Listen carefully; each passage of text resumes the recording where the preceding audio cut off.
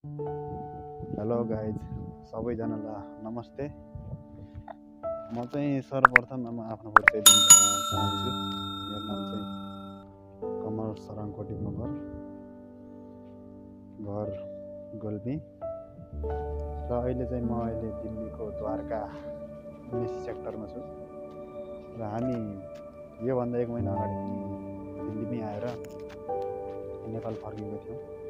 पोर्चुगलको पोर्चुगल जान भनेर चाहिँ हामी दिल्लीतिर आएका थियौँ र त्यस हाम्रो काम चाहिँ भइरहेको छ चलिरहेको छ। नेपालदेखि आएको पहिला आजभन्दा एक महिना अगाडि नेपालदेखि आएको चार पाँच दिनमै डेट निकाल्यौँ अनि डेट निकालेर चाहिँ बिहाफ्यास गरेर सकेर अनि नेपाल फर्केको थियौँ। र फेरि हिजो मात्र म फेरि यहीँ सरले फोन गर्नुभएको थियो आउनुहोस् आयो आउनुहोस् थियो र फेरि हिजो हामी यहीँ दिल्लीमै आएको छौँ द्वारका उन्नाइस सेक्टरमा त्यही भएर चाहिँ अब धेरै मान्छेको सपना हुन्छ पोर्चुगल जानको लागि र धेरै मान्छे ठगिएको पनि छन् कसैको काम हुन्छ कसैको हुँदैन त्यस्तै हो र त्यही भएर चाहिँ मैले पनि एउटा नयाँ अपडेट हालेको छु तपाईँहरूले अपडेटलाई माया गरिदिनु होला हेरिदिनु होला लाइक कमेन्ट सब्सक्राइब गरिदिनु होला।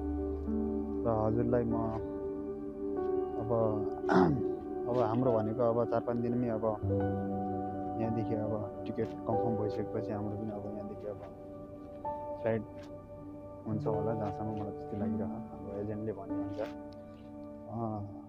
यिनै कुराहरू हजुरहरूलाई म अब हाम्रो के भइरहेछ काम कस्तो भइरहेछ भन्ने हजुरहरूको माझ अपडेट लिइरहने छु हजुरले चाहिँ यसो लाइक कमेन्ट सब्सक्राइब गरिदिनु होला र म उहाँदेखि नेपालदेखि हिँडेको पुरा भिडियोहरू पनि म हजुरलाई हजुरहरूको माझ लिनेछु अपडेट दिनेछु।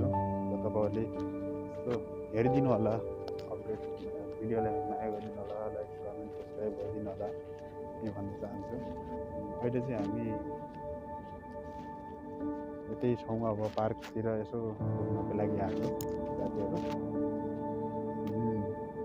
त्यही भएर चाहिँ अब यहाँदेखि हिँडिसकेपछि पनि अब उहाँ गएर के हुन्छ कस्तो हुन्छ तिनी कुराहरू म यसो हेरिदिनु होला लाइक कमेन्ट सब्सक्राइब गरिदिनु होला।